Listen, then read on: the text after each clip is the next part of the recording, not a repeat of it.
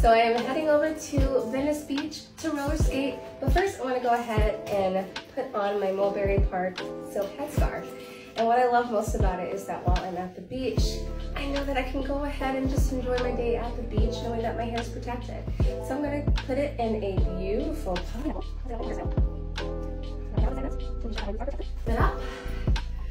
Tie it taut in the back.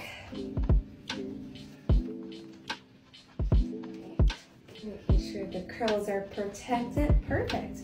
I'm actually digging a little flip back at the top for a more stylized look. Awesome. And your girl's ready to go.